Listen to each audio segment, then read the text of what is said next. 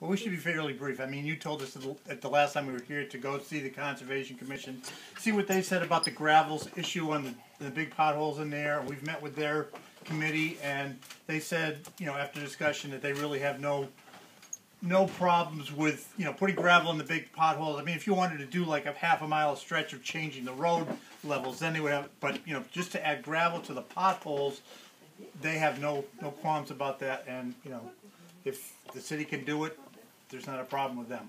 Do you have any comment on that? Um, I actually spoke with Louis Nissan of the chapter ninety office at, um, Mass DOT. Um, th- they would approve to allow us to purchase materials for the road reconstruction work in the meadows. Uh, but the, uh, issue is that we can't go over the existing grade lines that exist down there. Right. So, it looks like, uh, we'll be able to do some more, uh, repairs using chapter ninety funds, cause we don't have it in our general budget to buy that kind of amount of materials. To chapter ninety? Right. And tha- thank you for, it's great the road grader's been down there, so thank you very much for, that's, that's been a big improvement. Yeah. Mike? Do we have an estimate of how much? I don't know. Actually, we don't know, there's some pretty big, uh, monster potholes down there. The worst one is down, uh, that I can recall, is down by the, uh, in, uh, down by the, uh, what, what was that, the old ferry road, that goes straight underneath Route ninety-one by the airport. There's a, there's a bad one down there, Along that way. yeah, that really needs attention, for sure. Um, I recall when we were first talking about this, there was some uh, concern that some of the roads out, down there are not town roads, did we straighten that out? Um, I've done my research on it, and I've come up with what I can find as being public ways or uh, public ways accepted by the city. I've even gone through the county commissioner's file, going back to the late seventeen hundreds, and no roads were established in the meadows back then. So, um, I'm a loss at all the farm roads and what they mean, but they, um, some people think they're public, I, I think they're actually private. From what I've been able to find, so Old Ferry Road, Fair Street, uh, Hockanum Road, Nook Road are probably the biggest ones that are public ways. And most of the rest of it are just like, I call them farm roads. And so the work that we're doing is on the public roads? Yes. Okay, thank you. I think it's most concerned with the main roads where all the equipment has to go through. The, you know, the auxiliary roads, you know, I, people could deal with that, but the public seems to use a lot of those roads abusively. So basically, we do a loop around the airport, and then, um, we'll do, uh, Hockanum Road and parts of Nook Road. Um, what about Fair Street Extension? Uh, Is there anything that, you know, on that, We maintain it to the last house, and that's it. I don't think we ever came in here with the intent of asking the board to consider all the roads down there, never from day one. I think it was always just trying to maintain the ones that were just giving, uh, the main access in there and, uh, you know, taking care of Mhm. those. I I just wanted to make a comment, the reason I asked the question is because we're going through a process with some of our private ways here in town. And just in fairness to everyone, we should be spending our chapter ninety money on our, our roads. Yep. Where's the best place to get gravel? Uh, well, I mean, you've got a local gravel company, Bill Willard, I mean, he's right in town. I don't know if Ned has any other ideas. I mean, We'd have to go to the public procurement for it, Yeah. We, we would take bids. yes. Is it, is it too early to talk about timelines? Yes. Okay. Well, one question that, if I might ask, uh, and is there any chance that we could have some hope that come fall, when the guys are harvesting, that you might have some time to come down there with a, with a grader? That is the current plan. We do it twice a year, once in the spring, once in the fall. What we don't know is, uh, from your input, what is the best time in the fall to do it? Because crops coming out of rotation all throughout the summer and into the fall. What do you think, Joe? Yeah, I know that, yeah. I'd say late, late August at the early, earliest, and then by middle of September, end of September at the latest. Okay. Somewhere in there. The potatoes start early, and then some of the rest of the stuff comes a little bit later.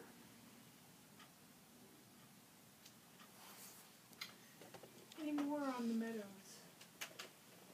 I would just ask, do you, do you feel that we're moving forward in a positive, positive way? Are these, is- are things Oh, Absolutely. yeah, sure, you? yeah, this, Uh, Again, I mean, we'd like to thank you guys very much for being down in there, cause we see the results.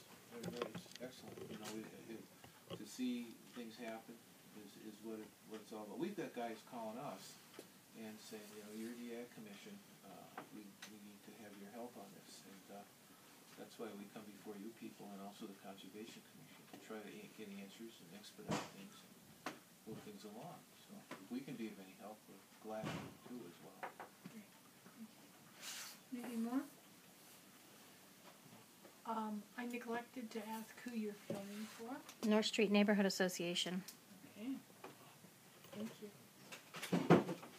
And, um, are, are you, um, Deborah Toledo?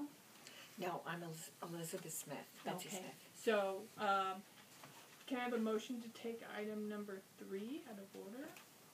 I'd like to make a motion, to take item number three out of order. Second? Okay, so the third item is Denise Caruth and Fred Pelka, uh, Spring Grove Cemetery. You just talk about that, or shall I just? Thank you okay? much. thank you, Thank you, guys. thank you, man. Thank you.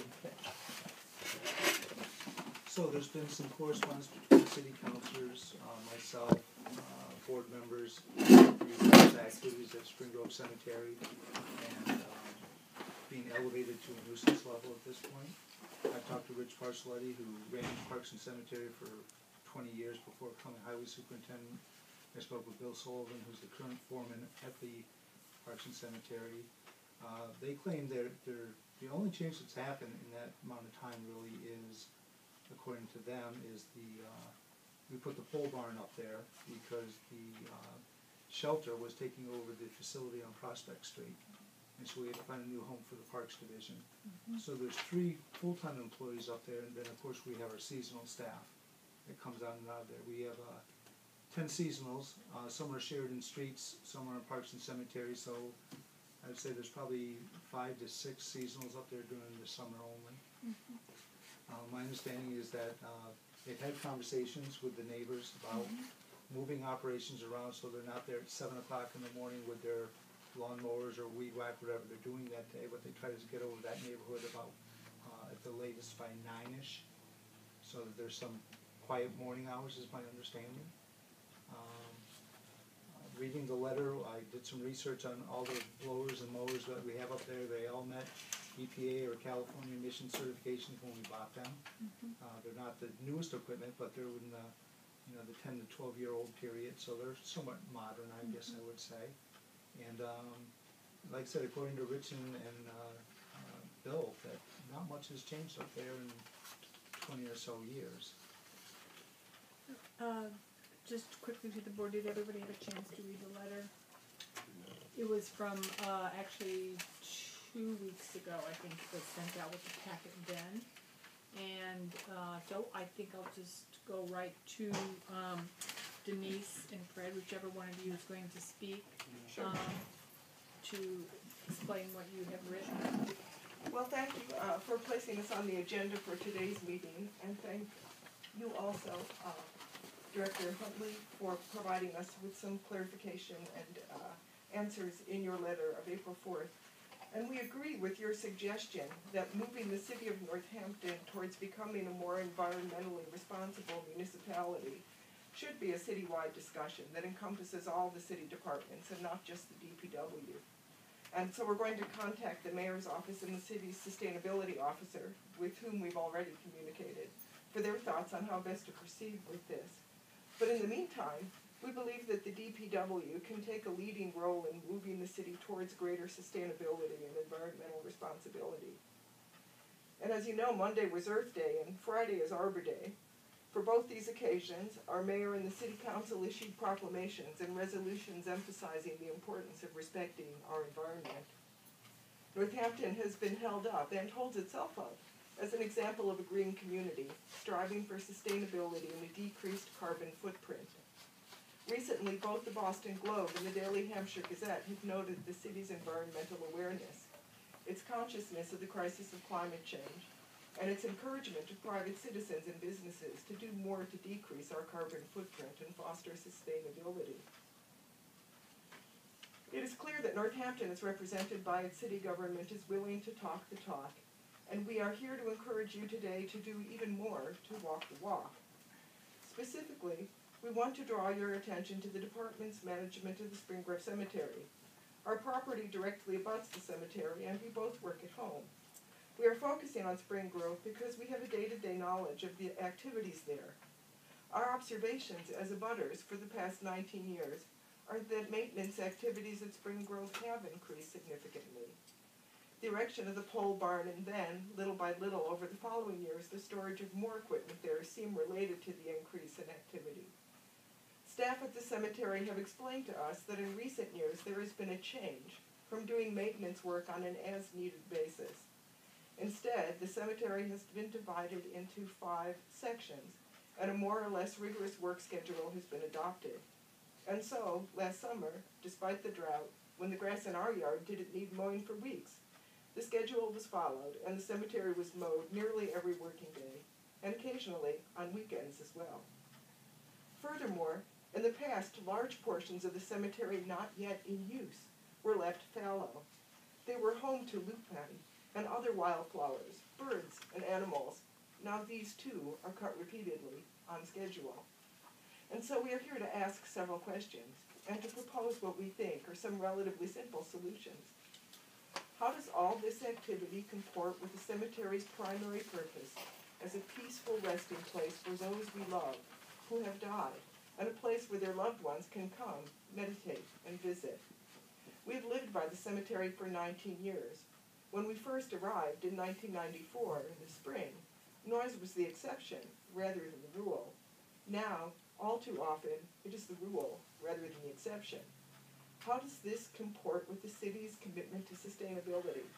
Is this the best use of increasingly limited municipal resources? We were gratified to learn in Mr. Huntley's email that the equipment purchased by the city conforms to California emission standards, which presumably means that the city's riding mowers, leaf blowers, weed whackers, dethatchers, and such are less polluting than similar machinery that doesn't meet these standards. It should be noted, however, that regardless of the standards, at least 20 California municipalities and various cities and towns all across the country, including Arlington, Brookline, and Cambridge, Massachusetts, have banned or greatly restricted the use of all leaf blowers, to cite just one type of lawn equipment, as simply being too destructive to the environment and too obtrusive in terms of noise. It should also be noted that many of these communities, including Cambridge, ban all leaf blower use during the summer months, and during the spring and autumn only permit devices with a rating of 65 decibels or less. Regarding the California standards, the good folks at Edmunds did exhaustive tests comparing leaf blowers with two-stroke and four-stroke engines to a 2012 Fiat 500 and a 2011 Ford F-150 Raptor pickup quoting their results, and I quote, the two-stroke leaf blower generated 23 times the carbon monoxide and nearly 300 times more non-methane hydrocarbons than the crew cab pickup. Let's put that in perspective. To equal the hydrocarbon emissions of about half an hour of yard work with this two-stroke leaf blower, you'd have to drive a Raptor for 3,887 miles, or the distance between uh, northern Texas and Anchorage, Alaska. End quote. It stands to reason that the less this equipment is used overall, the less carbon and pollutants it will generate.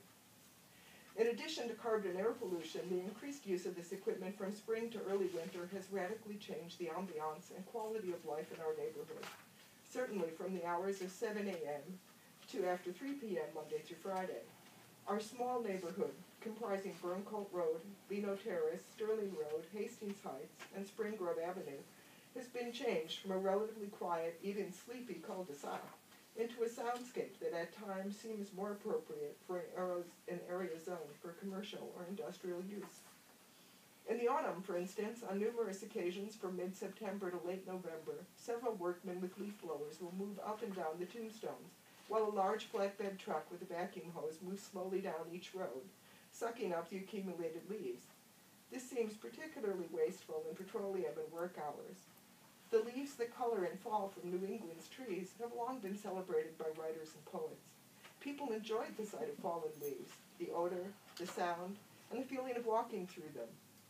We understand that leaves should be collected before the first snowfall, but does the city have to collect them day after day for weeks on end?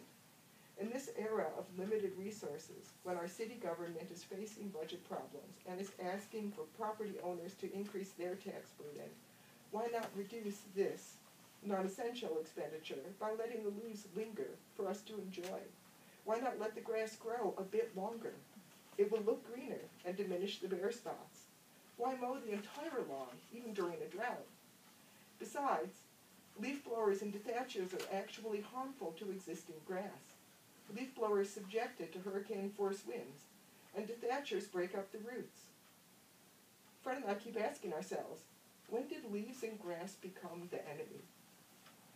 We've been told that much of this work is done because people have paid a substantial sum for perpetual care for graves. Is all this cemetery equipment and maintenance activity paid for and maintained by the perpetual care fund? Or is it paid for at least partially through general tax revenue? And just how sustainable is the current level of care? If the perpetual in perpetual care is to be taken literally, how will this level of care be maintained when gas is ten or fifteen dollars a gallon, and when the cemetery is filled and there are no more additions to the fund's capital? It seems only logical to assume that the less you draw down the fund now, the more will be available to provide perpetual care in 2050, 2100, 2300, and so on.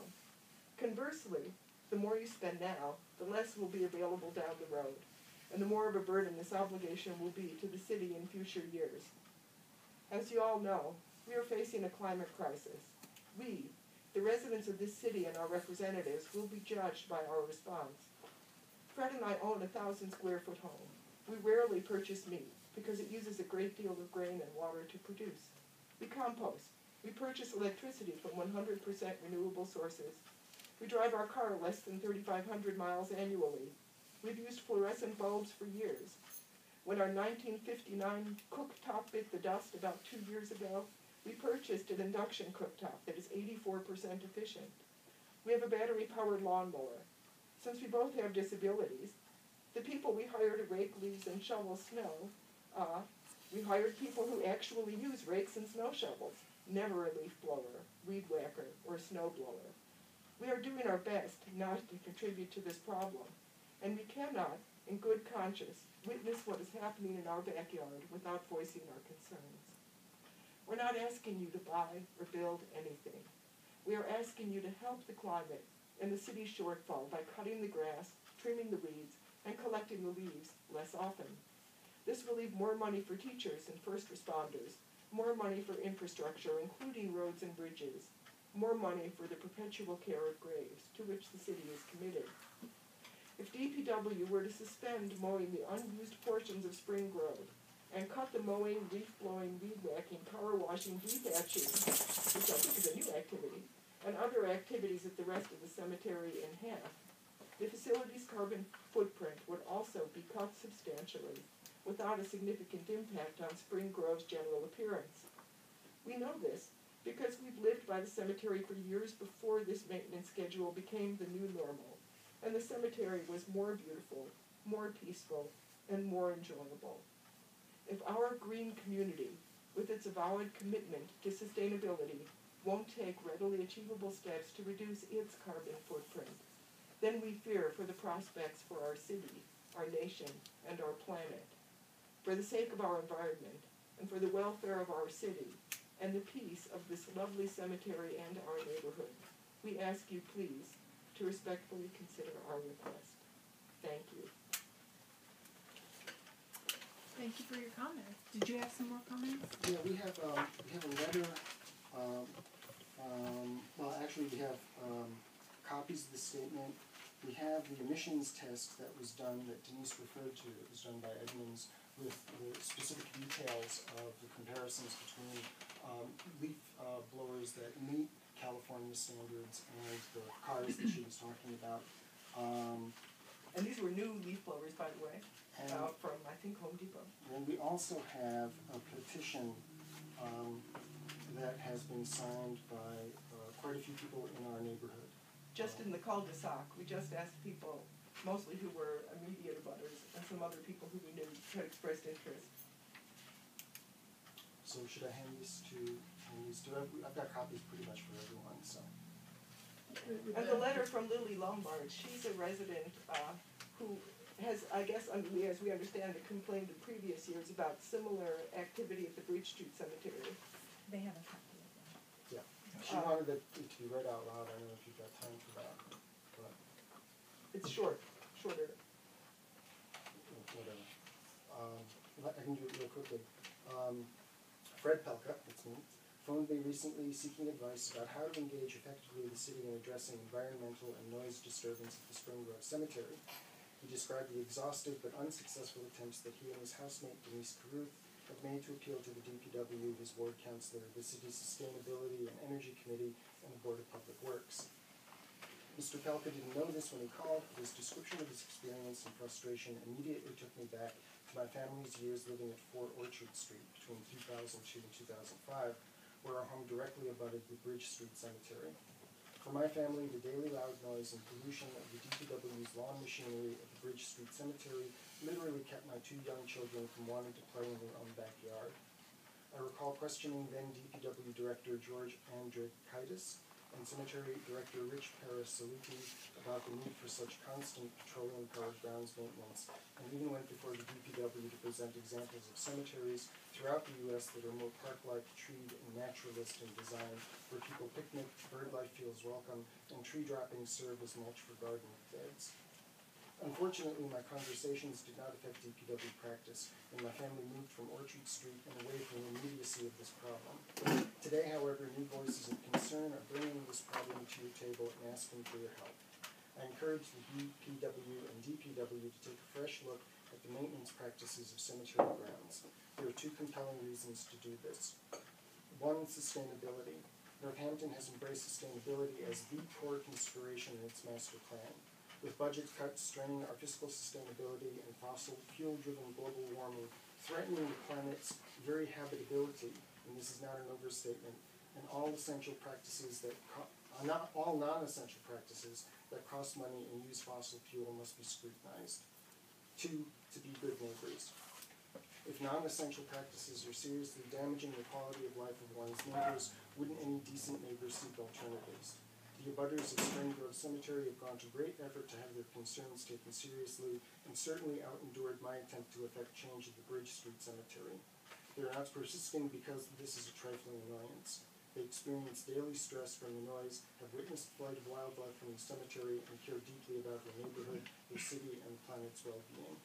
I thank you for inviting this conversation and urge you to see your cemetery neighbors as allies in finding a solution to this problem that benefits all. Sincerely, Lily Lombard. Thank you. And could also ask the neighbors, we went, uh, door to door and talked to the people we could. Um, a- and asked them to sign a statement that basically is, uh, in agreement with what we're suggesting here. And part of the reason for doing that is, uh, we were told when we, uh, first raised concerns about Spring Grove Cemetery that you're the only people who've ever complained. And Lily told us that she was told, you're the only people who've ever complained. And some of our neighbors have told us that they were told, they're the only people who've ever complained.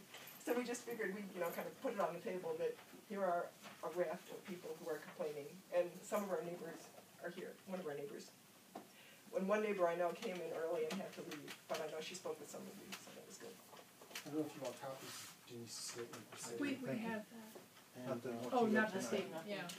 and this is the, um, The Edmund study. this is the Edmund study. that we were Oh, talking yes, about. that's Betsy, Betsy, and your good friend. Yes. We'll get this distributed to the board. Okay, that- that'd be great. Does the board have any comments or, um, questions? And Betsy, did you find anything? I know you were. Well, I, of course, lived like only ten years in, um, on Burn Cove, but, um, I definitely have noticed also the increase of maintenance of, it's, uh, almost constant, um, in, in the summertime. It just seems so, uh, it just used to be much far more peaceful and, um, the noise level was uh, maybe it's because I'm getting older that I'm getting more sensitive to the noise level, but I it, I definitely feel that it has increased. and it's excessive. That's, that's the, the noise. One, one thing that, you know, we wanna point out, I mean, there definitely has been a change in the sense of mowing all of the area at Spring Grove, whether or not it's being prepared for new graves or not. Um, and that's, that's a fair amount of the, of the area there, it's maybe a quarter to a third of the available area, and that used to be left to grow. And maybe it was, maybe it was mown once or twice a year, now it seems as though it's mown all the time. You can go there and you can see the area we're talking about. It's the area that goes up to the hill, the, the, the peak of the hill, the area that is along um, North Farms Road, I think that is, and, and, and sort of wraps around that. And that all used to be just left wild. And I, I And don't- lupins grew every spring. yeah, it was, it was, you know, people would, would go there to see the flowers and the birds. And I don't see what the point is of adding that to the maintenance regimen. And that alone would probably cut the, the noise level, you know, by a quarter, a third maybe. And, and there used to be, we used to see wild turkeys in there and, you know, all kinds, and more bluebirds and, I mean, it was just, uh, you know, More critters. Uh, it was, it, it was a wonderful area, sometimes deer. Um, and it's just, they're just not there anymore. And we also used to see more people who would come and like just park their car by their children's graves, usually it was older parents, you know, who would just sit there and have lunch or just sit there and meditate. Or some people have benches that they bought instead of stones and they would come and they would picnic there. And we just don't see that anymore. Okay, thank you. Mike? Can we set our own standards for maintenance, or are we, are we, um, obligated to meet some standard that's set by some other entity? I don't think it's sent by an entity, um, uh, the board actually looks over the cemeteries and signs off on the plots and so on, and even though City Hall takes care of the perpetual care fund, which a lot of that interest comes back to fund the cemetery division, uh, the board can set policies, they've set in the past, uh, changes in pricing schedules, times that we'd be open, not open, and so on. I have question. Yes. Um, I, was actually expecting to hear that there were concerns about ancillary activities that were being based out of the cemetery, but it, it, appears to me from your comments that this is really just your concerns are focused on the maintenance of the cemeteries themselves and not any other city work that, that's going on at that facility. Actually, uh, I mean, we didn't, we, we didn't, we didn't wanna kind of pile on too much. There are two things that, that seem to be new, and one is related to cemetery maintenance, and the other does seem to be ancillary. The, the, the one, the, the ancillary things are power washing. Um, there, there's been power washing, I think of plows, because I've gone over there while they're doing it, and they actually power washed the barn, which, you know. In February. In February, which seemed kind of superfluous and overdoing it. Um, the other thing, and I guess it's related to cemetery maintenance, but what they're doing now is they're taking a diesel, it looks like a diesel powered compressor, and they're forcing, uh, air through the underground plumbing system. This is how it was explained to us. So it's this hideously loud machine that comes by in the spring and in the autumn, I Mo- think, Mostly in the autumn, in the autumn. And- more than once. Yes, and, and, and goes down the roads, and, and what we've been told is this is forcing air through the underground plumbing. For like an irrigation system? Ye- Yeah. I guess. We Or- don't have or- an irrigation Don't have an system. irrigation No, system? it's, it's, No. it's just to water, for people to fill water Through the taps. Okay. But I think what they used to do is just open the taps and leave them open, and that's how they In the winter, yeah, drain winter. it, You know, drain it. drain the water out and turn the water off. Um, so this seems to be a new thing. And the other thing is several people have talked to us about, I mean, the noise of people coming early in the morning to pick up, uh, trucks that are destined for other places in the city. And, you know, so the noise of people coming in, the noise of trucks going out, the noise of equipment going back and forth all day. There was, a, Um, there was a particular neighbor who was concerned about that, and she was going to be here, but, um, she didn't show, so. Does anybody else from the group have any comments on this? From the audience? Anybody else from the, uh, board? So what I'm hearing you say, Ned, you mentioned that you didn't think that the policies have changed in how many years? would you say? Twenty, Twenty years, according to okay. Rich Parasiliti. Okay, thank you, okay.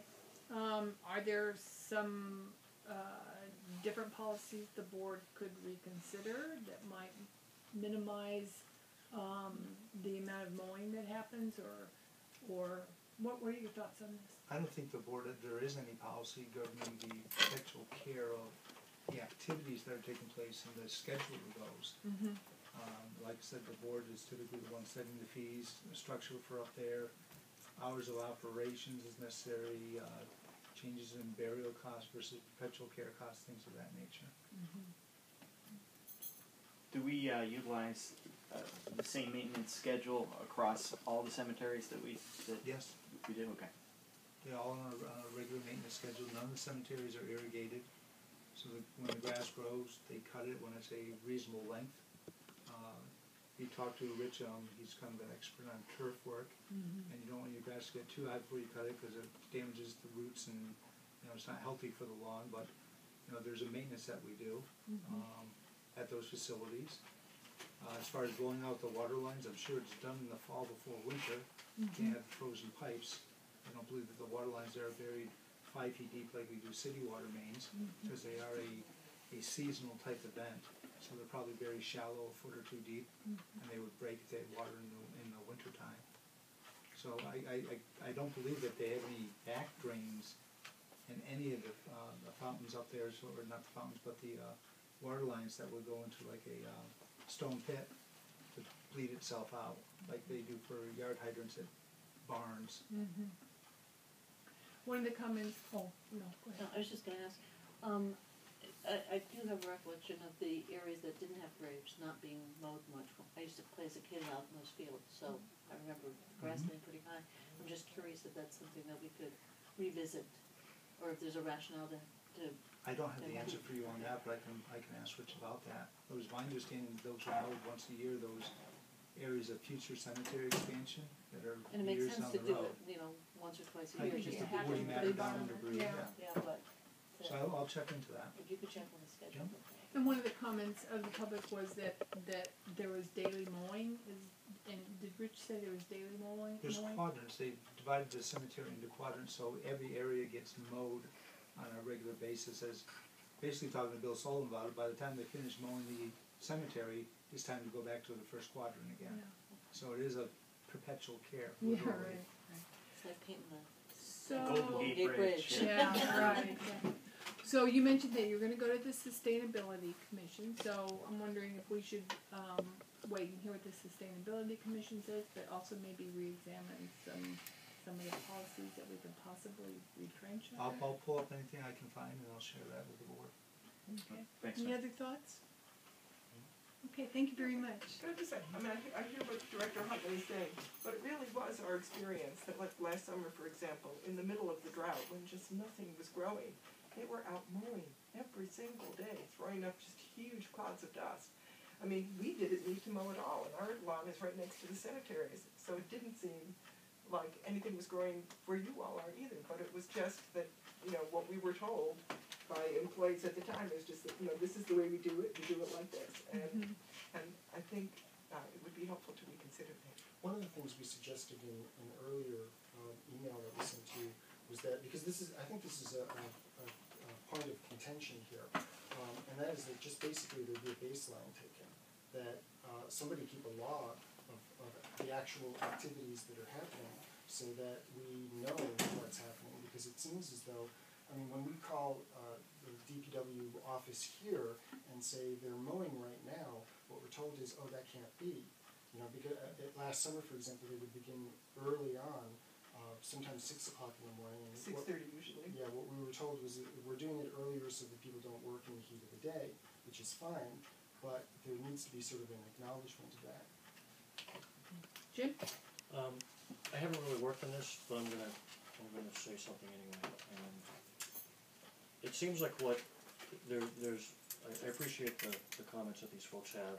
Um, leaf blowers are noisy and the things that they're saying certainly make a certain amount of sense to me. Um, the flip side is I don't know the details of how we maintain the cemeteries, but, and, and there seems to be some discrepancy between we're saying that we haven't changed anything and they're saying that they've noticed a change. Mm-hmm. And I think in a way, that discrepancy is a little bit, um, it's a little irre- irrelevant. I think at a minimum, we can go back and look at the policies of how we maintain the cemeteries and the activities that we do, what time of year we do certain things, what time of day we do certain activities, all these sorts of things and take and revisit that to see if there's a way to reasonably maintain the cemeteries, um, and keep them looking good and meet people's expectations from that, from that standpoint, while maybe cutting back on, on some things, and I don't know if, if we can or not, and like I said, I mm-hmm. haven't really, worked on this, but mm-hmm. it, it's noticeable that these folks are saying, yeah, there's a lot more stuff going on, and we're mm-hmm. saying, well, twenty years, nothing has really changed, but, um, it seems like a, a review of, of what we do would make sense, and MJ's comment about the area, that maybe we don't need to mow that area, and that could be a pretty quick solution to a lot of noise, but, um, but the rest of it too about, um, you know, if it's, if we're in a drought, how many times Yeah. do you need to mow? Exactly. I mean, these are pretty reasonable questions, I think, and, and again, I don't, I don't know the details like Ned does or Rich Parasiliti does or, or Billy Sullivan, but to me, it seems like a pretty reasonable thing to, to revisit the practices, and is there, you know, it's, it's always good in my mind, if someone has a question, to go back and reevaluate what we've been doing, we've been doing something apparently the same, same way for years and years and mm-hmm. years, and mm-hmm. never, it never hurts to go back and revisit the way we, we do things, I, I think. That's an excellent idea. Mm-hmm. Any other comments? So thank you so much can- for. Can I mention one more comment? And that was just that, we didn't wanna put this in writing because we didn't wanna get whoever's told us this in trouble. But, um, once, you know, one of the, the main reason that, that the cemetery agreed to kind of shift their timing, Fred went and talked to one of the employees. Well, I, I wanna back up. We, we, Okay. had- we- yeah, I- maybe we're, we're taking a lot of time, but we, we had called a number of times to say, if you're gonna begin this early in the morning, could you at least begin sort of on the other side of the cemetery where there aren't houses abutting directly onto the property? And we'd called and left messages and maybe sent emails, I don't know. Um, and it just hadn't happened, and at one point, seven in the morning, you know, somebody began right under our bedroom window, and I kinda got dressed and went out and had my little camera and confronted them and, and said, what are you doing? And, he said, well, we, you know, you have called and we know you called, but it would be better if you came in person and talked to people, which I thought was kind of weird. And then, um, I mean, and he agreed and he, he went off, uh, but what he, what he said was, well, you know, if you're expecting peace and quiet, why did you move next to a cemetery? And I thought that was an awfully peculiar comment. Thank you for adding some humor to our evening. Thank you very much for We often, coming. we often get told, oh, you must have quiet neighbors. And I say, well, thank, thank you for. Thank you for taking the time. Yeah, And- thank and you. we'll be- I'm sure And we will look into some of these matters, so thank you very And, much. and we look forward to hearing from you. Okay. Appreciate it. Great.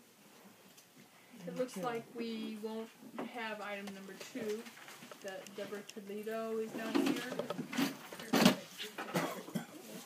Um, I'd like to open up this discussion for item number four, new business, discussion of the rules and procedures for public comments. Anybody like to open this up? I think it would be a wise thing for us to establish some guidelines.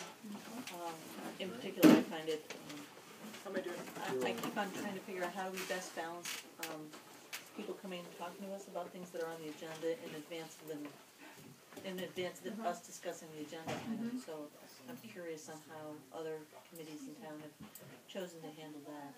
And I would hope that we might offer people the opportunity to say their piece in the public comment, mm-hmm. but if it's on the agenda, not to really engage in a conversation until it's on our agenda item. Other thoughts?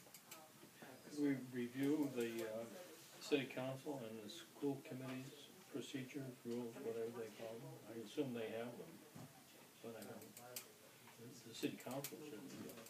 Uh, Terry was wondering, uh, are you going to get those or just shutting the door? Shutting the door. Um, that there's a three-minute limit for the city council, is that right? Right. And the city council don't engage in any sort of conversation, they just, Yeah, my s- understanding Just state, listen. just. state your piece and, and whether it's an agenda item or not is not relevant. Ah. You get your three minutes to do your thing.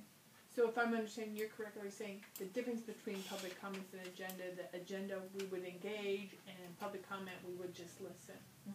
Would- Do we wanna have, is everybody in agreement with that? Not completely. Okay.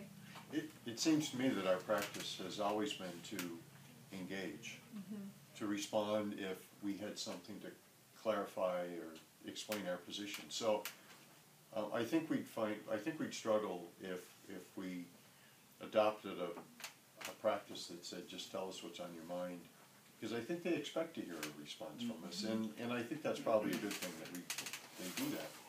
Um, so I, I, I kinda like a mix, I, I certainly think it makes sense to, if it's an agenda item, not deal with it in the public comment section, but deal with it under the agenda item. We, we struggled at a, at Conference a committee. conference committee, um, at our last meeting, because we thought we needed to let people speak in the public comment section, and they were speaking to agenda items, and then we all of a sudden found ourselves evolving into that agenda item, and so we, it wasn't the most controlled No. situation, because we were trying to feel And our I was way trying to it share it, and I was like, wow. what's going on here? So I do think it makes a lot of sense to, if it's clear that they wanna speak to an agenda item, wait until the item comes up, and then let them speak whenever it's appropriate. I mean, I, I think we should let them, if, if they say that it's on the agenda, I think we, if they want, if they start talking and it's on the agenda, and we recognize that it's an item on the agenda, we can say very nicely to them, it's number four on our Mhm. agenda, if you'd like to stay and we'll, you know, we'll deal with it, responding to it at that point. But the chair could also identify, are you speaking to an agenda item or a public comment, and then distinguish comments for the public that way. However, wonder if something's not on the agenda and would require a comment from the board. I would leave it up to the discretion of the chair. I think so, yeah. Rather than s- asking that, um, it be put on the agenda in the future. Yes. I I think that, I think that that's, I think that that's something we ought to also consider, which is if it's sufficiently thought provoking, we might wanna end, add it to the agenda, but I wanna bring up, um, a, a different situation, um, that we've encountered at the Stormwater Committee, where, um, public comment has effectively hijacked the process. Um, and what we've experienced is the same people re-airing the same issue at, at multiple meetings and multiple times within the meeting. And part of that has to do with the fact that at one of our earlier meetings, Councilman Spector came in and said, we really want this to be an interactive process, and I think we took him too literally. So I just offer that as a cautionary tale, um, because we're, it, I, I've complained to the, the chair and co-chair that I, I think that, um, that responding to the individual concerns of people who come in with specific problems is, is, is important. But given what the, the, the, the context of this task force is, it's, it's, it's gobbling up our time. Um, I don't see that as being necessarily the same problem we would encounter here, but I just, uh, add my support for more rather than less structure. Mm-hmm. For more rather than less structure. Jim? Um, just an observation that through the board meetings, when people come, I would say like more than ninety percent of the time, people come for a specific item on the agenda. Sure. Mm-hmm. We don't generally have people coming out wanting to just relay some idea or concept to the board, so mm-hmm. usually, you know, it's tied to an agenda item, as Mike suggested. You know, you, you guys do a pretty good job at rearranging the agenda to address people that are here for a specific, specific item. Seems to work pretty well, I think.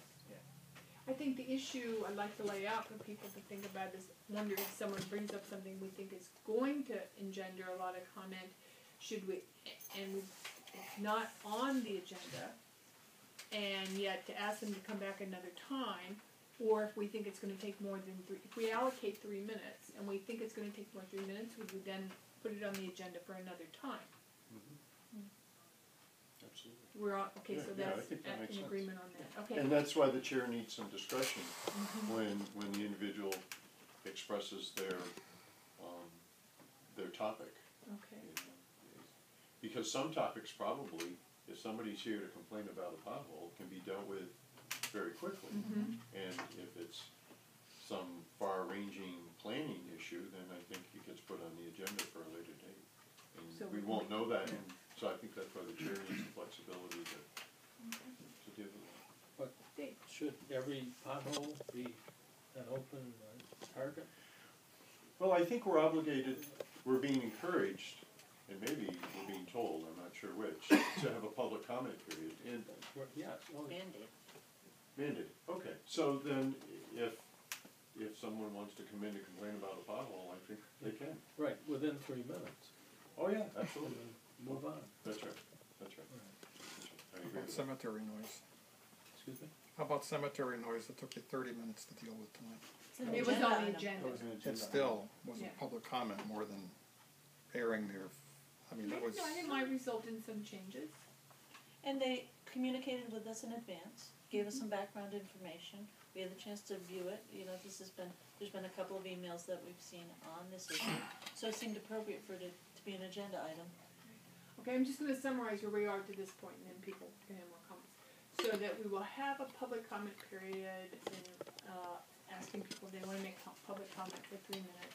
If it looks like it's something that requires our comment, we would ask to put it on the agenda. If it's people that want to, um, if it's people that wanna speak to something on the agenda, we would ask them to defer their comments. And there'll be some discretion on, uh, reply or putting it on the agenda for another time at the, at the, uh, behest of the chair. Is that we have, all is that, are we agreement to that point? Well, one thing that I've always appreciated about this board is that if a person has a question as you're discussing an item that maybe they weren't fully aware of before, but sometimes really interesting stuff comes up here, that you would still answer questions. Would that be something that you would still do? Was that a practice you would still use, or would it have to be like I'm just curious about that because I I like the opportunity to sometimes ask for a question when you guys are talking about something I'm not aware of, or so I didn't know if that's something that's would still be a practice that you do. Any comments? Well, I think that when, uh, when it's an agenda item, that's certainly been our practice too, Yeah. you know, to sort of discuss it among ourselves, and then we open it up to, um, the public who aren't sitting around the table to participate in the conversation. But I think the public comment is a different animal, in that people are coming, they wanna make sure that we're hearing it with our own ears, what they're saying to us. Uh, and it seems, um, and sometimes we can respond to that quickly. Now, to get the rest of the crowd involved in a, a question and answer conversation about this one person's item, I think would not be productive for us at that time. So, did I answer your question? If it's on the agenda, Right. I, s- I don't see that we're gonna change any, our practices of how we deal with the agenda items in terms of engaging the community. Jim or, or, oh, Dave? I say, I think, I think there's something in the open meeting law that speaks to the agenda, and the idea being that you can't sneak something into the agenda because you didn't wanna notify the public that it was gonna be on the agenda. So the, mm-hmm. the purpose of the agenda is, is to tell the public what's gonna be discussed, so. Mm-hmm. you know. And I think you see, we, we can see that in the ad hoc committees, the agenda. Good God, yes. Yeah, I mean, they're bringing up agenda items just out of the blue. It's really, it's really frustrating. But if you look at the written agenda, Yeah. it, it seems like they're trying to not do that. So Um, would the, Oh, go I was gonna say, I, just to follow up on your, I would hope that whatever solution we come up with would maintain that same sort of collegiality, and whether it, we don't, whether we don't write it into whatever our, you know, but we just sort of operate under, under those, that, that sort of spirit, I, I would, I would, that would be my hope that we can do that. Um, it's usually an intimate enough room that we don't have a problem with guys, you know, firebombing the place, so. I- David, I wanna make sure I understand your comment. Your comment is that items that are already on the agenda, people, people comment on that, but we don't wanna add to the agenda because it's a No. public agenda already. No, I think, I think we're open, we should be open as we are to, uh, comments, Mhm, period, you know, mhm. about anything. But people coming in with their agenda, eh, you know, with, with a bunch of people and, and in effect forcing themselves into the agenda, Mm-hmm. it presents, you know, us discussing an item that's not an agenda item. But In other words, the public didn't know that this particular group, whoever they are, was gonna put something on the agenda Mhm. through this But we have backdoor the- process. Right. Com- comments on the Well, well, I think that, I mean, with public comment, we're sort of hearing what's on the mind of the public that we might Mhm. not hear otherwise. Mm-hmm. Or, um, and then I think that in that case, then, and if, if it requires a decision or a change of policy or a reconsideration of our policy, then it should be put on as a future agenda item. And I think that that's what we need to rely on the chair to sort of see those lines and to make a decision about how to move it forward. But for us not to make a decision either in responding to somebody who's talking during public comment, a, a major policy shift, I, I think that we, we tend to be cautious about making big decisions and tend to sort of err on the, on the side of being more prudent and, and uh, researching and taking a little time to think about things. I think we're a good board in that way. And- And I would, I would submit that the three minute limit does put us in a position where we can end that, that type of, you know, Mhm. workaround. Um, just by saying, okay, great, thank you. Mhm. You know, do you wanna, do you wanna see us put this on an agenda for a future discussion? I think also we have the responsibility that we have to, uh, we have to publish the agenda. And so the fact that we can't have too many errant, we can't have errant issues because they aren't on the published agenda. So we have public comment, we have people speaking to the agenda, and then we have the fact that on future agendas, we would put the information on. Dick? As someone who's made public comment before the city council, I get my two or three minutes and don't expect much more. And there may be a question asked from the city councilor, once my three minutes are up, that's it, and the agenda is the agenda.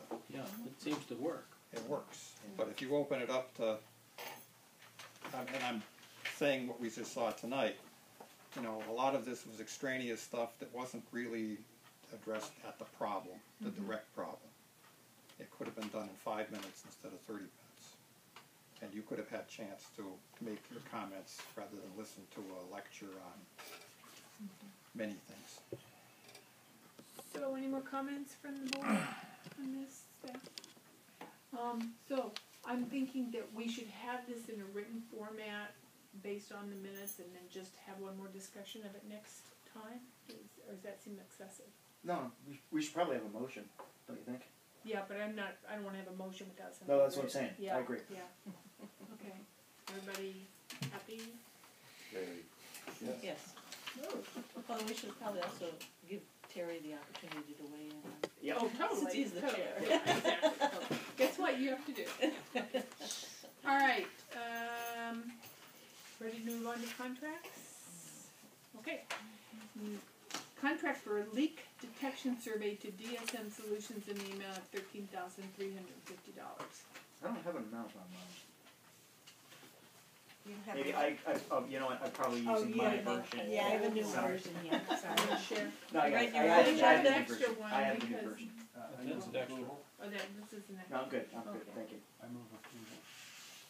Second. Uh, This is a requirement every three years through DEP, so this is our third year. We had three quotes on this ranging from uh, thirteen thousand three hundred and fifty dollars uh, up to thirty-four thousand seven hundred dollars. Um, two years ago, um, this was ninety-three dollars per mile, this year it's eighty-nine dollars per mile. Uh, DSM is the same company we used uh, last time. This, this is water main. This is water mains, uh, questions? Does this cover the whole city? yes. Not bad. Not bad. To do the math, how many miles of No, I didn't. that? Other comments? Eighty-nine miles. Eighty-nine miles. All those in favor? Aye. Any opposed? Number six, contract for engineering services for twenty-inch water transmission main condition evaluation to Tata and Howard. Um, in the amount of thirty-two thousand five hundred. Move approval. Second. This is an engineering contract to do an alternatives evaluation and condition assessment of the twenty-one, in- uh, twenty-inch water transmission main that was installed back in the turn of the century, I guess, right? Nineteen oh six, I think. Nineteen oh six. The last century. So it runs from Mountain Street Reservoir basically down to, into Leeds. And, um, it's a cross-country line, it was installed by hand back in the good old days. Um, it's one of, uh, one of two transmission mains that we have that, that come down into the city. Um, Tata and Howard had identified it as, um, a potential weak point in the system and in a, in a draft, uh, in the draft water asset management plan, they'd actually suggested they would replace it to the tune of six million dollars. And we had decided that before undertaking a six million dollar project, it might make sense to do a little bit closer look at the, an evaluation of the pipe and also to look at, um, potential alternatives to either, um, clean and line the pipe in place or replace a section of it or whatever the case may be, so. this study is, is intended to look at those alternatives and provide some options for us to consider. So just to look at the options. Yep. Uh, MJ? Did, is that the new report that we just received? We have not received that report yet, The report that you just referenced? that is true. You makes you wonder how we can do that. It's amazing. He's pretty amazing. Well, he's a good guy. What did I say? I said we Yes. received the draft report, Oh. Oh. which, Keywords. which needs to be revised before we're really interested in sharing it with the board, or the public for that matter, because there are some things in there that weren't accurate and other stuff that need to be corrected. Um, but we're hoping to have that within a couple of weeks. But you're com- sorry, I was just gonna say, you're confident that in its draft format, this is. Well, you know, one of the things. It's my turn. Well, I, I will say, to address that, MJ, that one of the projects that, that was in the draft report was the replacement of the transmission main for six million dollars. And Ned and I were like, well, we probably wanna look at alternatives before we undertake a six million dollar project, so. This is fairly short money, I think, to make sure we're spending money wisely in terms of the transmission. Thank you. Uh, first, my Can, can you, Jim, can you explain why they consider it to be a weak point in the system? Um, I think because of the age and the fact that it's cross-country and, um, it's inaccessible in many areas and, um, I don't think that, uh, yeah, it's basically inaccessible in, in a number of areas, so we rely on it for redundancy to, to transmit water to the city, but, um, the city has had concerns about the condition of that for years.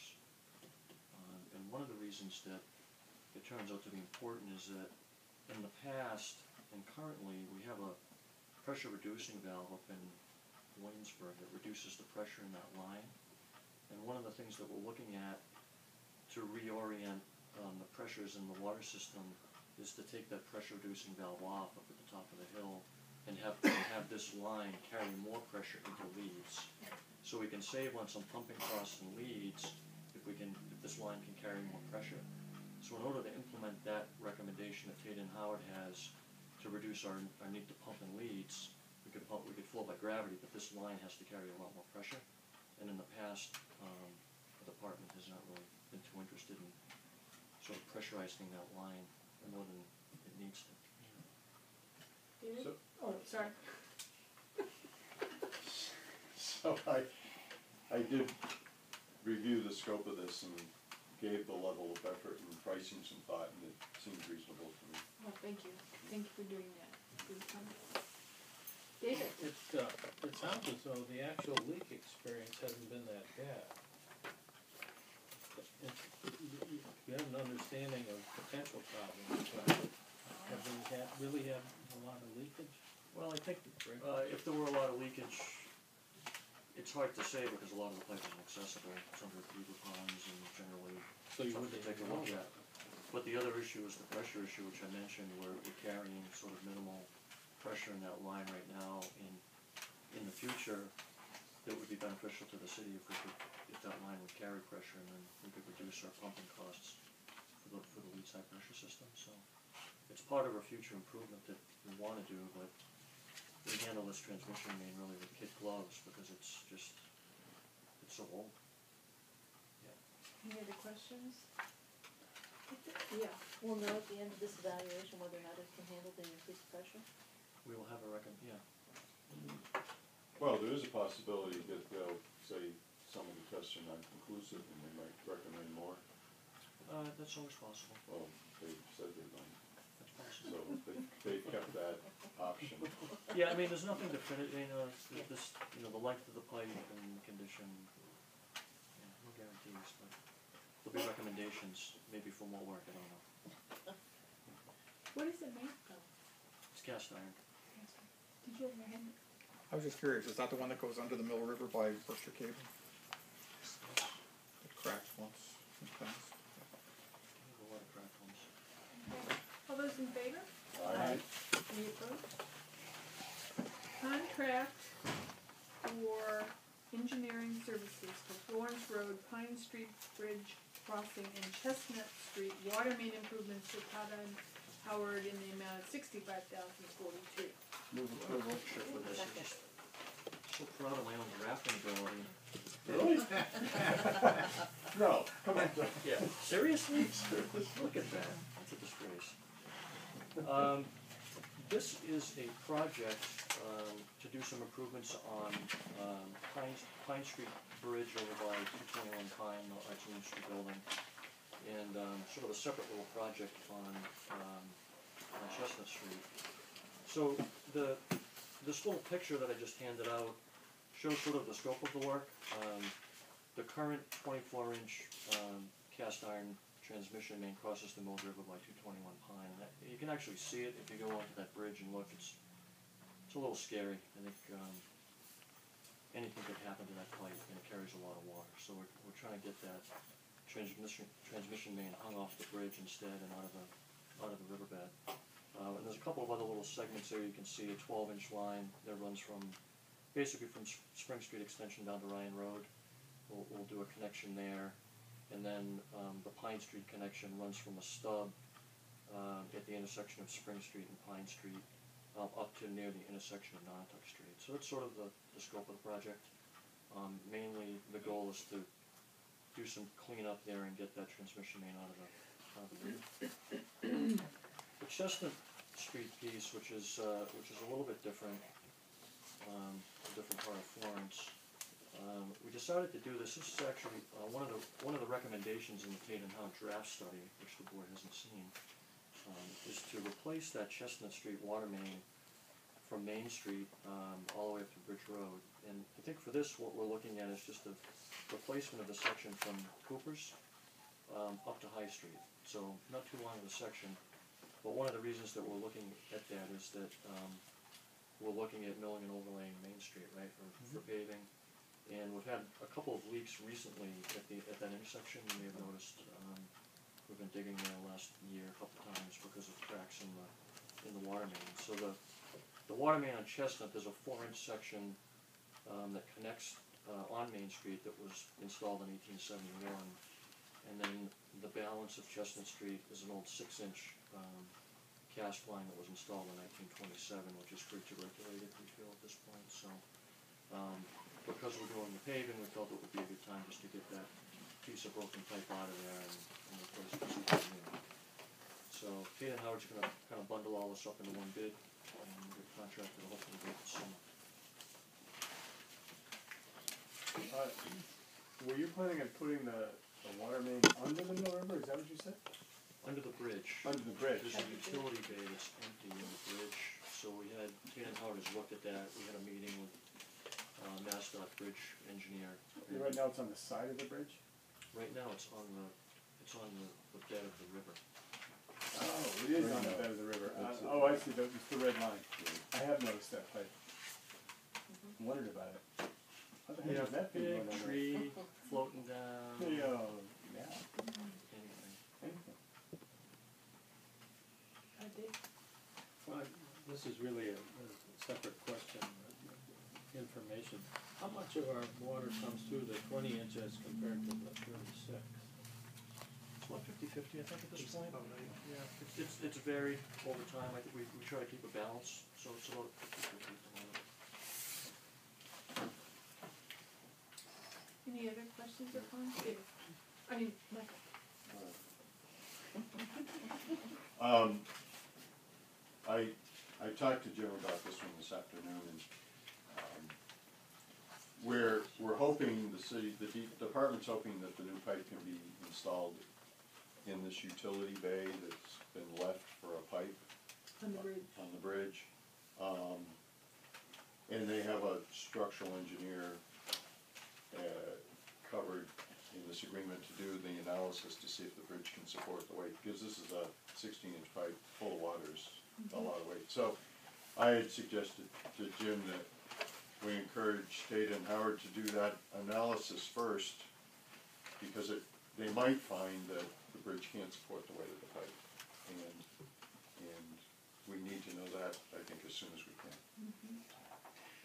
Otherwise, I thought the effort and the pricing looked reasonable.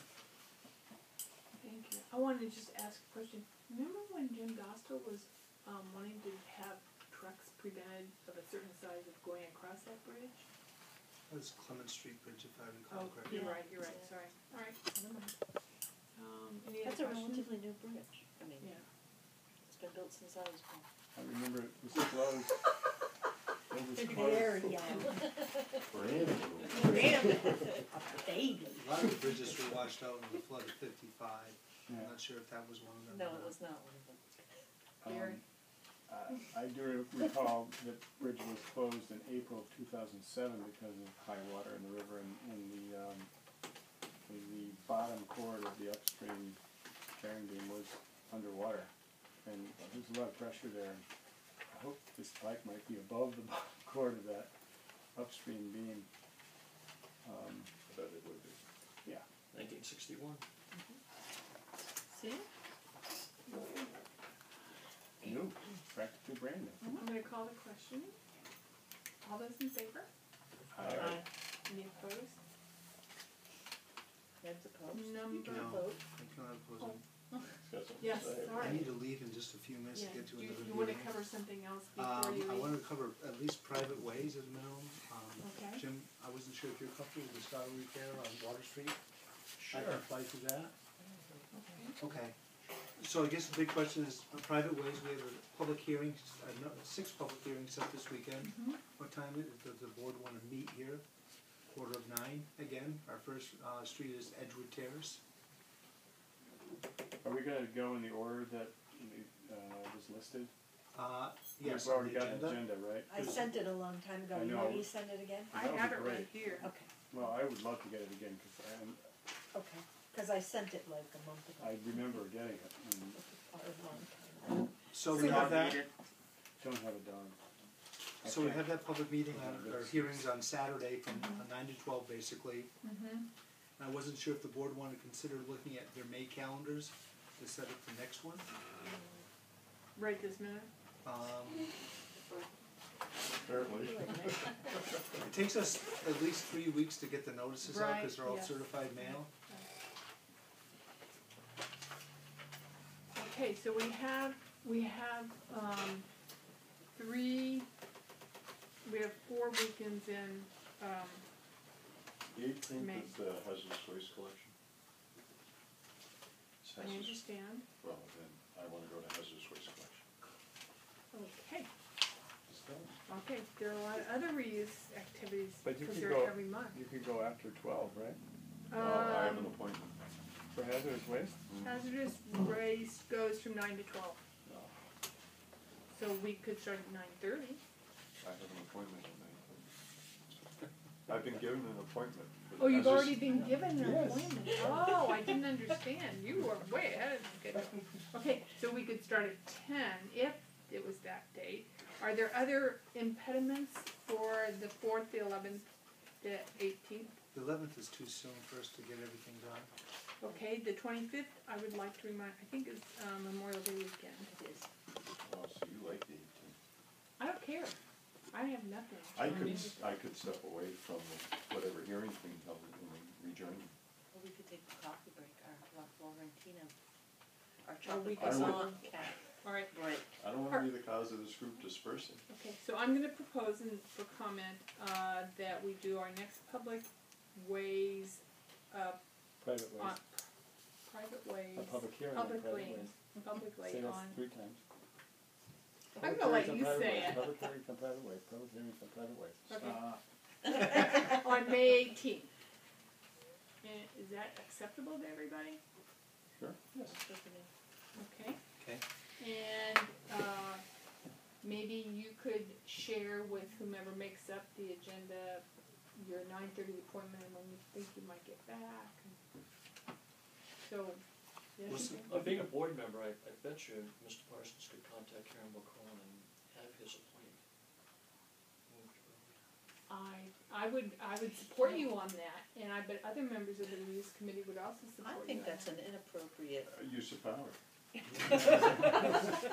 Plus, it only starts at nine. Right, nine. Sorry I mentioned it. Nice I have to I be in was, there. I was thinking Pe- you People could can go see at how we nine, operate here with all the, all the You could- power. you could go at nine. Finally a perk, I- I've been waiting for one. And we could start our public hearings at nine fifteen.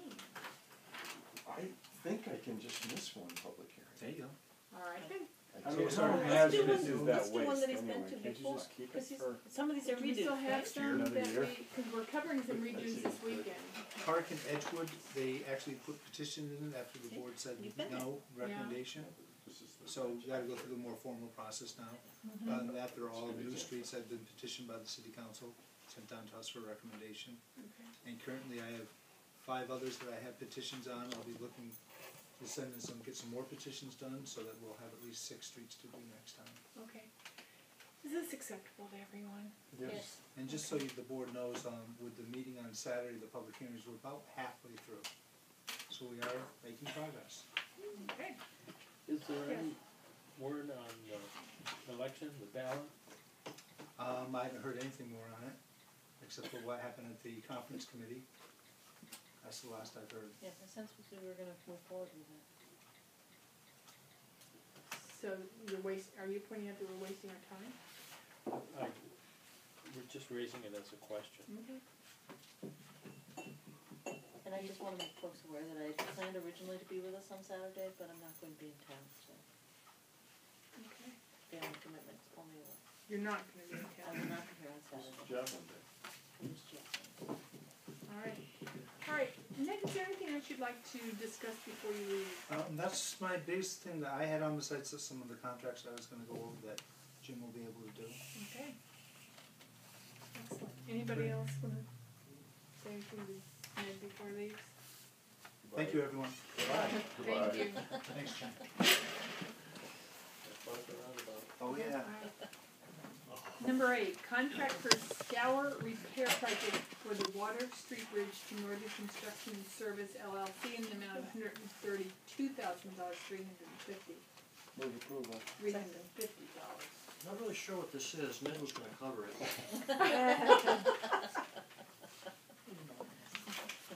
Um, Sort of a one. It is, um, this is, uh, there's some scour, the Water Street Bridge in Leeds, um, over Roberts Meadow Brook, there's, uh, scouring occur, occurring, uh, under the bridge on, on the bridge abutments, and, uh, this was picked up by a MassDOT bridge inspection a couple of years ago, three years ago possibly, and we had, uh, a design for repair done by our bridge engineer, uh, Damon Peterson, um, couple of years ago, and we bid it last year, and the, the prices came in higher than, um, the money that we had budgeted to do the work. The green one is the bid. So the green one's the bid, BJ's telling me. So we had to, Ned, um, worked with the mayor and the city council to identify additional funding so that we could rebid the, the work this year. So we had, um, so it's a scour project, so we had no, you know, the design was a couple years old, and we checked it out to make sure that the conditions were basically the same. So the repair was appropriate, and we rebid it, and we got three bids in. Northern was the low at one thirty-two, hundred and thirty-two thousand two hundred fifty. We had two other bids, um, the next highest bid was Clayton Davenport out of Greenfield at hundred and thirty-five thousand eight hundred and twenty. And the third bid was New England Infrastructure, uh, at hundred and thirty-eight thousand seventy-five, so very tight. Good, amazing. And Northern's a pretty company that done, that done the bridge work, so happy with that. This is a pedestrian bridge. This is not a pedestrian bridge, this is Oh, a bridge bridge. Didn't we see it when we went out to the private way? We did. We walked up It the. was, yeah, the, the guy who had the driveway. Oh. Yeah. His property goes, abuts the comes brook. Yes. Yep. Exactly. Any further comments on this, questions for Jim? Uh, all in favor? Aye. All opposed? Alright, Do you want me to do the polymer? contract number nine, contract for polymer for the wastewater treatment plant to Atlantic Coast Polymers in the amount of sixteen thousand one hundred dollars. Move approval. Second. This is a contract for polymer that we the wastewater treatment plant. And la- I'll give you last year's, uh, last year it was two dollars and twenty-five cents a pound, and this year miraculously was a dollar sixty-one a pound. Wow, For which we, fifty percent. okay, Buy extra. Extra. Dick recommends we buy to the contract limit this year. Okay. It must be a product of natural gas. I was gonna say, that that's gotta be what it is. Yeah. Any discussion? Okay. All those in favor? Aye. All those opposed? Alright. Number ten, contract for engineering services for the Mountain Reservoir Lower Pump Station Generator, uh, to and Howard in the amount of sixty-six thousand. Move approval. Second. This is a contract to do the engineering oversight, design and oversight for the installation of a new generator at the Lilith Pump Station at Mountain Street Reservoir. We don't have backup power at that pump station, and we found that, um, from a risk management standpoint, it would be good to have backup power there.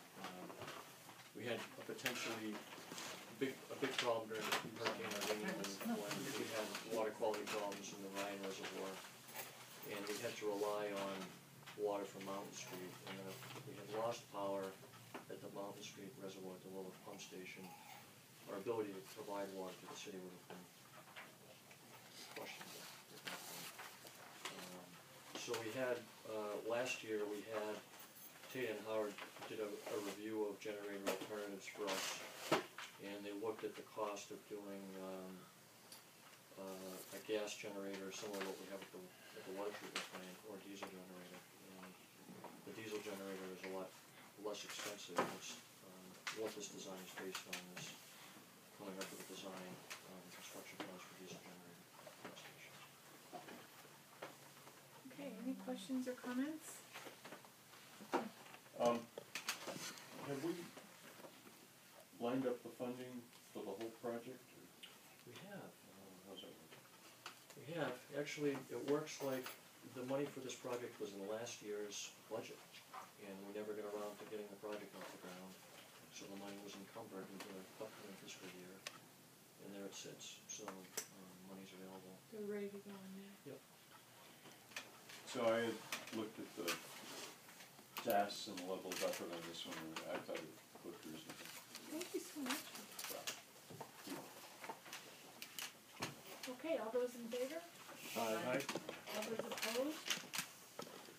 Alright, change order number two to contract number two oh four thirteen for wastewater treatment plant electrical testing protocol and observation to Kleinfelder in the amount of thirty-seven thousand. Move approval. Second. The last board meeting, we had a discussion about this, um, electrical testing protocol. And at that time, there was a contract that was, um, pulled off the agenda, the, contract had originally included Kleinfelder, um, overseeing this electrical, uh, test and observation, and, and it included, um, an electrical subcontractor who was gonna do in excess of hundred thousand dollars worth of electrical work at the plant.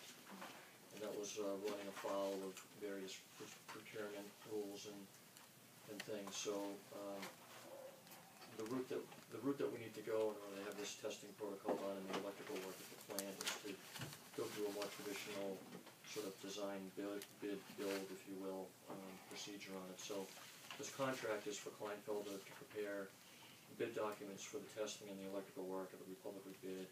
Kleinfelder will oversee the work of the low bid electrical contractor on it, so it's a, it's a slightly different, um, route in terms of procurement, but the, the testing and the work that'll be done will be the same as what we've discussed a couple of times with the board.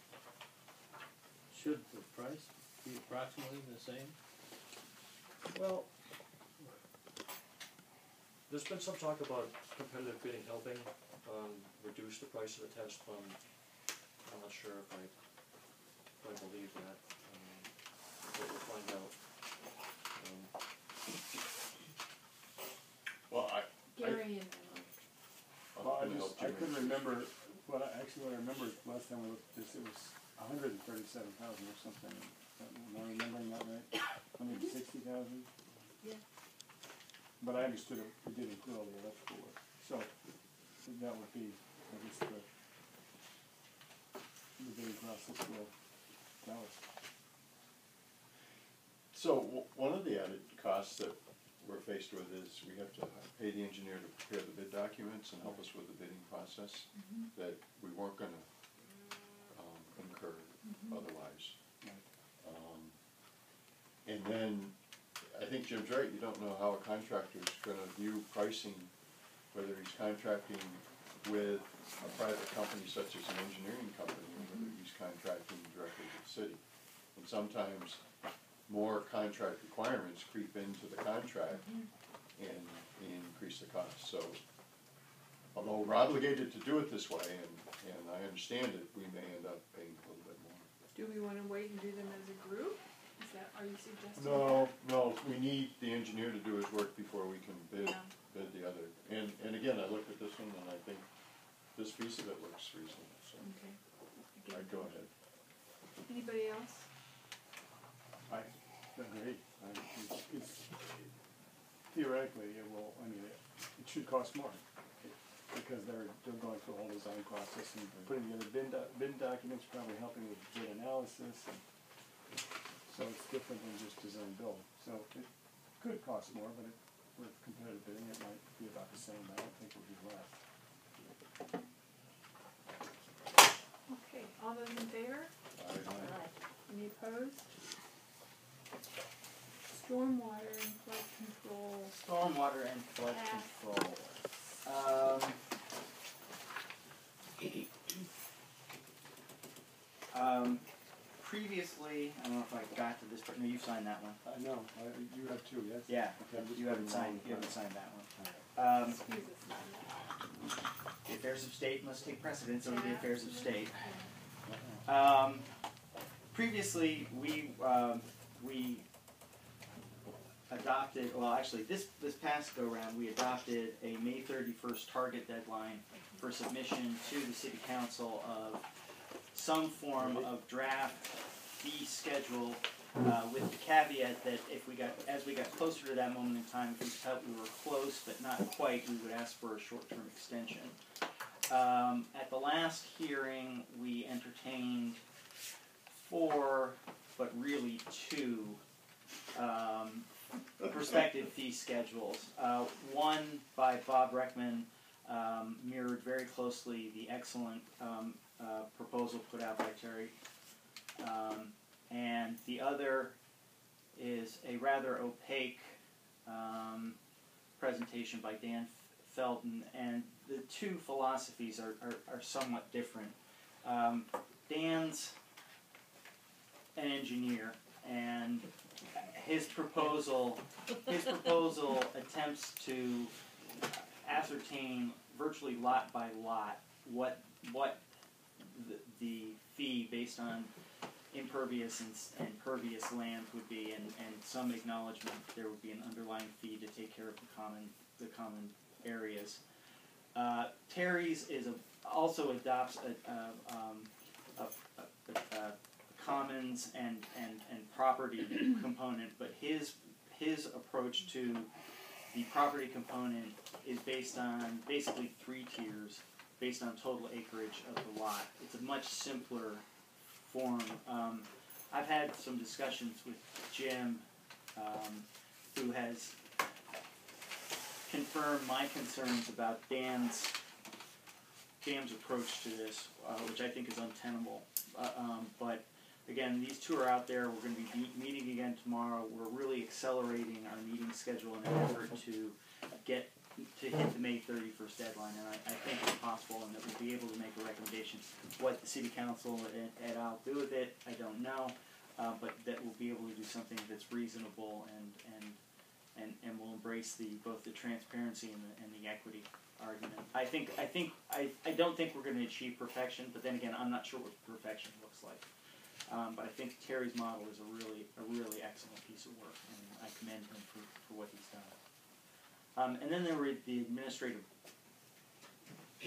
hula hoops that we had to go through last go round uh, that that made the whole process convoluted, and um, I wrote to um, I the thought you were gonna say bullish hoops. That too. um, I wrote to the chair and co-chair expressing my concerns about, and this is what I spoke about earlier about, you know, the pro- appropriate level of public input. Um, and uh, I've been assured by the chairman that this issue is going to be addressed at, the, at tomorrow's meeting because really, particularly given the short turn, short turnaround time we're on, um, we don't have the luxury of unlimited public debate. We need we need to solicit good, thoughtful ideas, but we also have to have the capability to cut it off when it when it starts to spiral out of control. So I'm hopeful. I'm more hope. I, I I'm hopeful we're going to be able to come up with something good, and that our work will be done by May 31st, and we can put it behind us and move on to sunnier pastures. And I see Jim wants to add something. If you're done. I. I guess for the benefit of the, uh, the board members that are on the joint committee, you should realize that there was a great deal of discussion and consternation about the May thirty-first deadline. Um, it was talked about for a while, uh, because some members of the task force felt that it was inappropriate, lacked transparency for there to be sort of this moving deadline, and then a deadline given after they've started their work, and some of the members felt that there wasn't suitable time to come up with a, a thoughtful response to the charge. So lots of discussion. There was some discussion about, you know, well, people could resign, they could do this, they could do that. And in the end, I think it was Chris actually came up with the idea that he said, well, you know, May thirty-first, if we work hard, we can get something done. And if by mid-May, it looks like we need more time, then we'll go back to the council and ask for a little more time. And, you know, we did talk about the basis, there was a lot of questions about, you know, why the thirty-first and where did that come from? And it came from me because I sent the email, which was a little sticky, although it wasn't my decision. Um, I blame the joint committee rightfully. I fully accept responsibility. Um, We should have gotten with June first. You know? Yeah. I do, I do. It would have been, it would have been better, they would have appreciated, they would Let have let me appreciated. just- Yeah, let me just add, if you're done, Jim, let me just add to that. I think that, I think that at least a portion of the resistance to the May thirty-first deadline had less to do with how fast it was. Because I think, I think the majority of members can see that we can in fact do that. But there was at least one person, and he, I think he was the guy who voted against, there was one vote against on the motion, was that he didn't like the fact that, that a mandate was delivered on high halfway through the process. And I, I, I'm not unsympathetic to that, but I was able to, at least in my own mind, get around that and say our charge is more important than hurt feelings, and that if the May 31st deadline is in fact realistic, we should, we should try to, we should try and meet it. So. Uh, MJ, can I thank you first for taking that stance? I think what we were concerned about in the conference committee is just the, um, the necessity in moving forward and getting a dec- some decisions made because of the scope of work that's on, that's sort of looming in front of us. And, and we hear that, we hear that, but um, there is there's still a school of thought, and it's not going to go away. We're not going to get a unanimous vote on whatever the outcome is. I guarantee it. Um, How many people on the committee? uh, that's a good question. I think at this point it's ten. We've lost at least one or two, um, and but I think we've sure. I think the discussion about getting off the committee basically got people to commit to the fact that they weren't going to do it. That they that, that, that for them they had taken on the responsibility and they wanted to see it through. Um, but that didn't mean they weren't going to be prickly along the way. um, but I, but again, I think that you know, two meetings ago, it, we came to the realization that a short-term deadline was meet, meetable if we narrowed our focus, and the fact that four people individually, I, I, with help, I'm sure, came up with you know four proposals for last week's meeting in the space of a two-week time frame is encouraging. There's an acknowledgement that we can get this done. So it's really down to these two sort of, and, and we haven't seen a new a, a new a fifth proposal hasn't reared up. So I think we're really focused on the differences between these two. And I think at the end of the day, at least where I am, Terry Terry's some form of Terry's initiative is going to prevail. I think the only thing I wanted to add to it was that there was a lot of discussion about the fact that this is a big decision for the city as a whole, and that the task force is grinding away in relative anonymity. I mean, a few people have been coming to the meetings. We've been doing, you know, the meetings are obviously posted. We have everything on our websites, on the city's main website. Um, the, the meetings are videotaped as, you know, like the board meetings are, and they're put up on YouTube, and we have links to that stuff on our website. All the technical information that the task force is using is available for people. Um, but there was a fair amount of discussion as well about, um, you know, how do, how does the word get out more so people are, are aware of it in the city? So that was talked about quite a bit, and I think the chair and vice chair of the task force have indicated that, you know, they're, they're trying to do what they can within the charge of the task force. Eventually, this is gonna end up back at the joint committee level, the board level, and then the city council. So there'll be more, you know, there'll be more process and more discussions and more public meetings as, as things, as time goes on, but, you know, for, for example, the, you know, the Chamber of Commerce came to the meeting and offered to help sort of get the word out.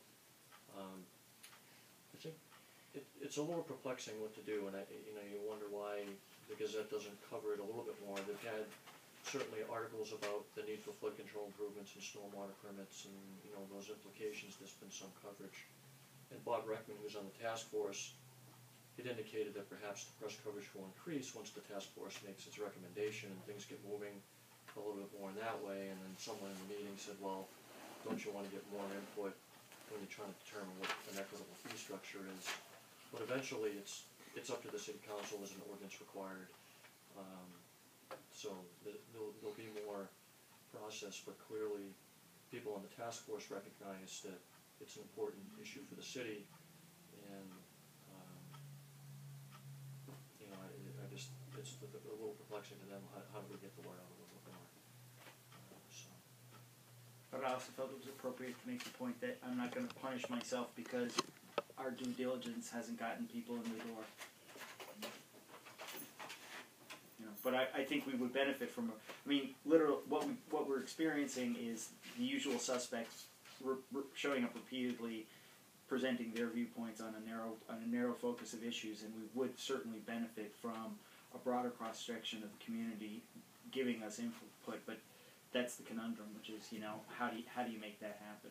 And, uh, it's a tough, it's a tough, it's a tough call. No, I have a, we'll have at least two public hearings, Yeah. one for the board and one for the city Yeah.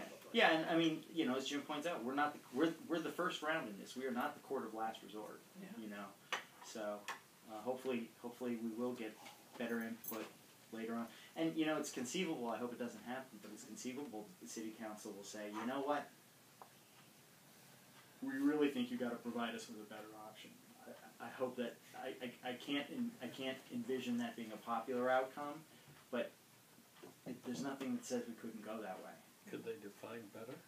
I would hope. I would hope that they're. I hope. I would hope that they they would narrow their guidance and that we wouldn't have to reinvent the wheel. Hmm. Yeah. But I also wanna say that when we were doing the budget and talking about the water rates, um, there was a very clear statement made that we wanted to grant a little relief in terms of escalating the water rates, so that, because we knew that the Snoopy was becoming, so it's, it, it's been out there. Oh, And, you know, I, I think it's a little bit of a technical issue, and I think that, you know, I, I, I hope that people see that there are good minds working on this, mm-hmm. are thoughtfully deliberating, and will come up with a recommendation. Well, and I But did raise. Yeah, and I did raise the point that you know the first of the public hearings on stormwater started back in the fall. That this is not new news. That we've been you know, and that the second one. The first one was an overview of the issue, and Terry did a great job. And the mm-hmm. second one was a discussion specifically about fees. You know, so I mean, you know, so, but you know, it's this it's we're not this is not a unique issue where people's attention is drawn to it more closely when you get to the fire. I haven't asked the guys, for instance, at at uh, the transfer station what Saturday last Saturday was like, but I suspect they took a lot of heat. I think that's an agenda item coming up, Is it? informational. Oh, okay. So sorry. Okay, anything more to say on the stormwater and? Uh, and we meet again. We meet again tomorrow. night. we're meeting here, by the way. Right. Okay, In this room? In this room. In that room? Very fun, nice and cozy. okay, solid waste planning update. Do you have thoughts on that? I just was uh, interested in hearing a report on how things have gone with the the landfill president. I didn't ask on Saturday. I meant to just poll the guy, poll the people at the outside. I don't really have a formal report. Um, Dave Valletta indicated that things went pretty smoothly on Saturday, that there were a handful of people at Glendale, I think, that were, uh, um, had to be, uh, informed of the changes, but, um, I think things went pretty well here, anything really of any, any real problems, so. I was here on Saturday, and uh, it kind of seemed like it always seemed, although it was after three, so it was there were definitely more people here than typically would be after three, in my experience. But it's always it's a changing window. You never know. But it was it was easy enough to get rid of my trash and recycling. I didn't, didn't seem to be difficult at all. I'll just mention from reuse subcommittee this morning that there's a, uh, an event last weekend, which was a trunk sale, and that was, were happy about that. And, um, there's one this weekend on, um, medical take back, and, um, Karen thought it might be the last national medical take back, and a lot of the, uh, there's several places in the community that are taking back, um, drugs, for instance, at our police station, and I think there's one other site in Northampton that's doing that. And then, um, uh, on, um, on May eighteenth, there's household hazardous waste. Really? And, oh wait, I forgot, five eleven, there's the, um, Savers, or the SOS plant sale, and there's gonna be a combined, um, reuse of, um, pot pickup and garden exchange, so anybody that are gardeners and pe- bring in rakes you're not using anymore, and pick up some shovels. Is that the annual Smith Voc? Can we get rid of, Yeah. I, we Do we can, get Medical- all, do we get pot? Medical pot only. Well, you know, they're You round, need- they're round, so see if that works, like about this maybe, something like that, yeah, those pots are, can we drop them off or pick them up? both, Oh, both, Wow, and that's on and the you can eleventh, exchange them. that's on the eleventh? That's on the eleventh, Do I yes. need an appointment? No, Not you, anyone else, not you. yeah. And then on, um, six, on June twenty-second, bulky rigid plastics. Again, take it or leave it, textile and hot, and household goods and bicycles. I like bulky rigid plastics. Yeah, I always we get my When five is the gallon bulky drums. rigid plastic? on the June twenty second. These are all at Smith Voc. But the bulky rigids are difficult to manage and will be, you can dispose of those at the regular, at the Glendale when we're open for difficult to manage. Oh, really? Yeah. Ah. Chris, you just have to the crawl into Yeah, the but the dumpster good to thing get about this is yours. that there's a potential for. I'm not Yes, adverse. no, I agree with you, Yeah, okay. But some of the things that people bring for reuse aren't really very reusable. Okay, so that's for use.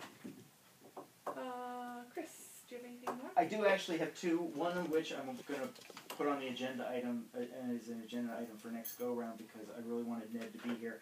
It has to do with, um, a private citizen, um, cutting down, uh, trees, public, public shade trees on, on his property after he was specifically informed that it was inappropriate to do so. It's the first time in the short term that the tree committees had, had to deal with this, so it's unclear what our, our avenues of, um, response are, but um, I think we feel that it's something that can't can't go un, unresponded to. So, uh, I, I, because Ned's not here, and because I would like to be better prepared uh, and, and figure out what my ask is with regard to the Board of Public Works, I'm, I'm going to hold off until next go. But I will say that Friday is Arbor Day, and in the spirit of the holiday, uh, the tree committee will be giving out uh, free saplings um, Friday and Saturday from 9 till 1. And the trees this year are uh, white oak, uh, redbud, and Rose of Sharon. And they're available until they run out. Where they're gonna be distributed? Right here. So if you're a member of the Board of Public Works, you come early, is that what you're saying? I, I think everybody come early and, you know, limit one per and until they run out. Okay, thank you. Mm-hmm. Can I Sure. just say that I got one of those saplings a few years ago, and it is just wonderful. It's just growing. It's like it's amazing. So I love every year to look at it because when I got it originally, it was a little tiny little thing, and it's really growing. So What did you get? um, it's gosh, it was a Japanese something. I can't remember the name. I always forget, but it's lovely, and it just I just have to say it's a wonderful thing that you guys do. So I just think that it's it's great because every time I look at it, I remember when I got it, and, and, it was uh, Deb. Deb, I can't remember her last Oh, name. yeah, Deb. Yeah, and she gave it to me, and I just remember that little tiny thing, and now it's Yeah. just growing in my yard, and it She makes used to me be happy. No. I- she was actually, Yeah. Oh, Deb she was, Jacobs. she was hijacked to do some Deb of the work. Jacobs, yeah. Yeah, I, Deb and I, I just yeah. saw her the Yeah. other day, yeah. Um, and the, the, ro- the redbud and the Rose of Sharon are classified as smalls, and the oak is a large. Uh, the city apparently has a lot of our email addresses because I keep getting emails from the city once in a while. So there must be a database with all that. And these things that you're talking about here are almost like public information things for the common good. And it almost seems like those things ought to be popped up on people's emails as they happen.